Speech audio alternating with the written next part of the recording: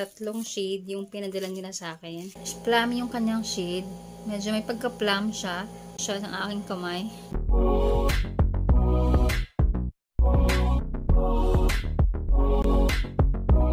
Hi guys! Welcome back to my channel, Mami Erica. And for today's video, it's another product review. Magre-review tayo ng lip tints na pinadala sa akin ng goddess.co.ph.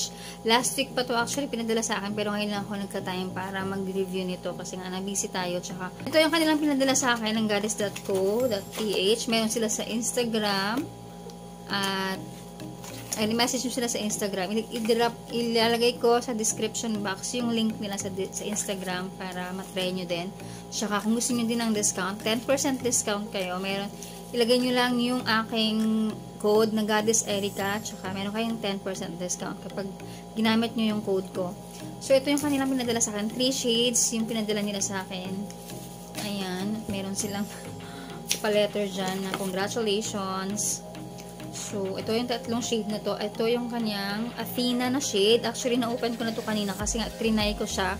Ayan, nilagay ko siya sa checks ko kanina kasi umalis ako. Itong Athena. Tsaka ito yung Artemis na shade. Artemis. And Aphrodite. Ito yung kanilang Aphrodite. Ayan, Aphrodite. Ito yung shade nila. So, tatlong shade yan. Isa-swatch natin yan. Ipapakita ko siya sa inyo. 10, meron siyang 10 ml. It's cruelty-free, made with organic ingredients, no bitter taste, pigmented, long-lasting, and safe to use. So, totoo talagang pigmented siya guys, kasi nga ito yung ebidensya ng aking kamay. Ayan ang ginamit ko kanina, nilagay ko siya sa cheeks ko. Ayan, ang hirap niyang tanggalin. Konti lang naman yung nilagay ko, pero tignan nyo yung aking kamay. So, pigmented siya at saka long-lasting siya kasi kanina pa tong umaga, um, nilagay ko kanina kasi umalis ako. So, try natin yung iba sa lips natin. Ipapakita ko siya sa inyo. Isa-swatch ko muna yung mga shade niya para makita nyo kung ano yung magandang shade para sa inyo. So, since nagamit ko na yung Athena sa cheeks ko, yun yung una natin isa-swatch kasi na-open ko na rin siya. Ito yung Athena. Ayan. Siya yung una natin isa-swatch. Ayan. Pero, sa product mismo, maganda kasi pigmented siya at saka long-lasting yung lip tints. Um, kadalasan sa mga lip tints na na-try ko. So, ito yung kanyang, ito yung Athena na shade. Muna natin ito tayo. Mabango siya guys. Para siyang candy na lips. Yung lips na candy noon, di ba may lips na candy? Yun yung kanyang amoy. Ayan, Athena. Roller type siya. Ito yung kanyang kulay.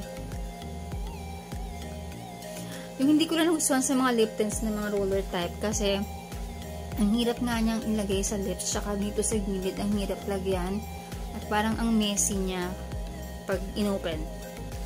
Red yung kanyang kulay. Ayan, pero ito try natin dito para nalaman talaga, para makita niyo talaga kung ano yung kanyang itsura, kanyang, kanyang, kanyang kulay, yung kanyang shade. Yan. Very pigmented siya. Yan, maya maya, mag nag-set na siya pag nagtuyo na. Medyo Ayan, yung Athena. At yung second shade na ito-try natin, yung Artemis. Ito yung Artemis. Artemis na shade. Hindi ko pa siya na-open kasi nga, yung Athena lang yung inopen ko kanina. Ito naman yung Artemis na shade.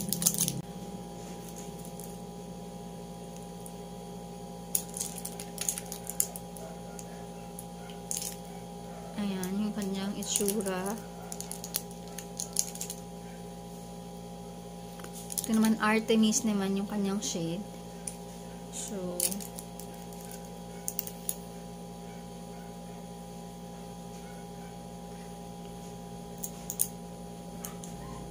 Ito may pagka-orangey. Pagka-orange yung kanyang shade. Dito sa personal. Parang orange siya dito. Ayan. Yung, an, yung Athena naman may pagka-red. Red naman siya. Tsaka ito naman yung Artemis. May pagka-orangey. Ayan. Oh. Ayan yung kanyang shade. So, mamaya ito-try natin yan sa lips ko.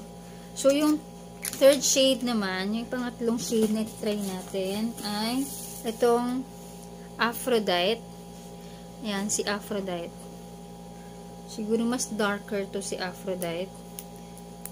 Ayan. Yung pangatlong shade natin, Aphrodite, yung kanyang shade. So, ito try natin siya. Medyo dark siguro to yung Aphrodite. Ay, Medyo dark nga siya. Darker naman to. Ito yung pinaka-darkest sa kanila. Si Aphrodite. Yan. Parang maroon siguro to. so, natin. Ay. Oh, parang plum siya. Plum yung kanyang shade. Ayan.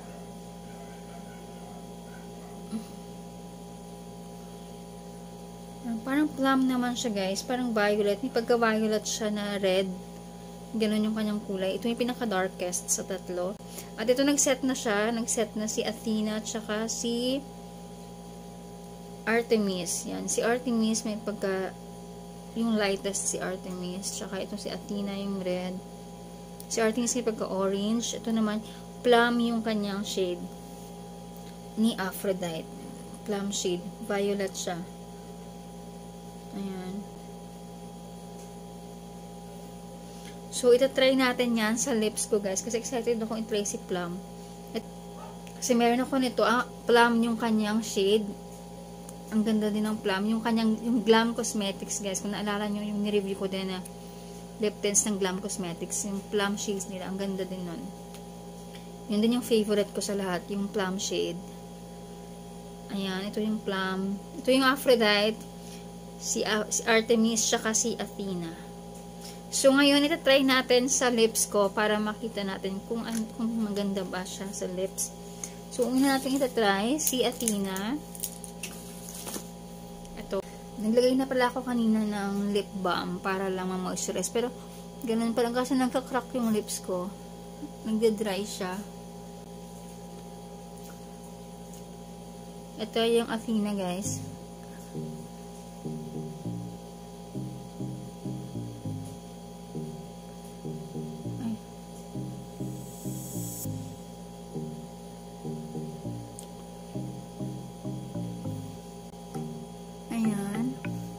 Ito si Athena.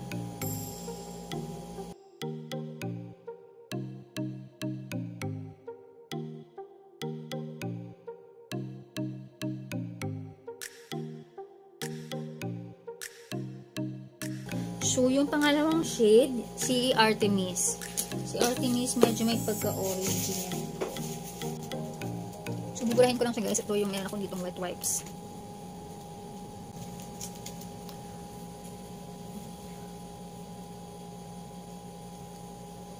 Ayan. Ayan, hindi naman siya mahirap purahin. Okay lang. Moisturizing siya sa lips, guys. Hindi siya malagkit. Saka, ang dali niyang burahin. Ayan. Kasi meron talaga mga lip tints na ang hirap burahin talaga.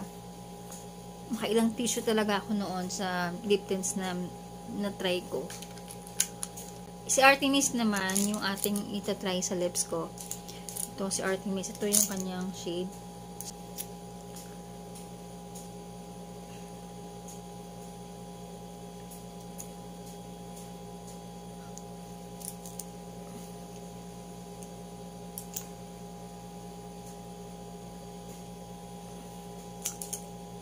Ay, may pagka-orange yung kanyang shade ni Artemis. Alam niyo guys, ang ganda niya kasi hindi siya malagkit. Kasi meron talaga mga lip tints. Kadalasan kasi sa lip tints, iba ang nalagkit nila. Ito hindi. Yeah, super super moisturizing niya. Tsaka, hindi siya malagkit. Ang ganda. Hindi siya malagkit sa lips. Tsaka, ang dali niyang burahin. Ayun lang, parang ano lang, yung, hindi ko lang nagustuhan yung roller niya kasi ang hirap niyang ilagay dito sa, sa gilid. Pero, yung product, ang ganda ng product niya kasi nga moisturizing siya, hindi siya malagkit, saka super pigmented pa. Ayan. Nilagay natin. Ito si Artemis. Artemis. Artemis. Artemis naman to. May pagka-orange naman yung kanyang kulay. Kanina, yung Athena, may pagka-red yung Athena. Ito si Athena red naman yung kanyang kulay. At yun yung nilagay ko sa hindi ko na siya binura guys. Kanina pa to. Hindi ko na binura. Tsaka para makita nyo na rin kung ano yung itsura niya. Hindi na ako maglalagay sa eyelids ko guys para mabilis tayo. Ito naman si Aphrodite at yung pinaka darkest shade niya. Ito. Yan, siya yung pinaka darkest sa lahat.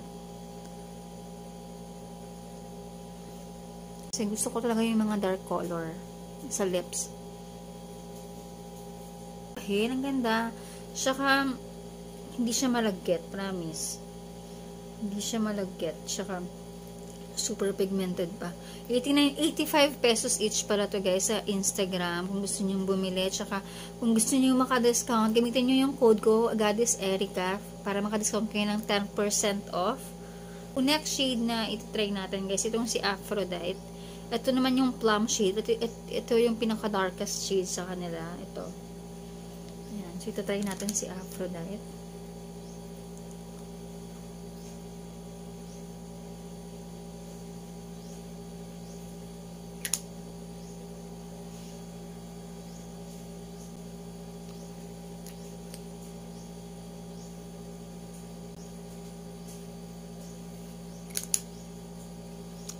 Nagka-crack kasi yung lips ko kaya medyo ganun siya nagpapatsi-patsi sa. Ayan, yung sa lips ko. Pero yung product mismo, okay yung product niya kasi hindi siya malagkit. Saka, yun, moisturizing siya sa lips. Hindi siya malagkit sa lips. Saka siya malagkit. At hindi rin siya nagsistain sa sa ngipin ko. Kasi mayroon talagang mga lip tint na nagsistain sa ngipin. So, ang ang hirap niyang burahin. Ang hirap. Yan. Aphrodite. Ito si Aphrodite. So, ano yung nagustuhan nyo guys? Ako so far, nagustuhan ko si Aphrodite. Ito yung gusto ko kasi siya yung pinaka-darkest. Gusto ko kasi parang dark, dark, kasi gusto ko kasi yung mga dark colors, mga dark shades sa lips. Lips. At hindi ko siya tatanggalin muna kasi kakain muna tayo tapos para makita nyo kung talaga bang magsistay yung kanyang magsistay siya sa lips ko. So, ayun guys, um, kung gusto niyo mag-purchase nito, 85 pesos each siya. Sa, meron to sa Instagram. Sa, so, search niyo lang yung goddess.co.ph sa Instagram. 85 pesos. At yung nagustuhan ko so far, si Aphrodite. Yan kasi siya yung pinaka-darkest shade. Tsaka, so, ayun guys. Ito si Athena, si Artemis, tsaka si Aphrodite. So, ito si Aphrodite sa lips ko. Ito yung nagustuhan ko, si Aphrodite. Ayan.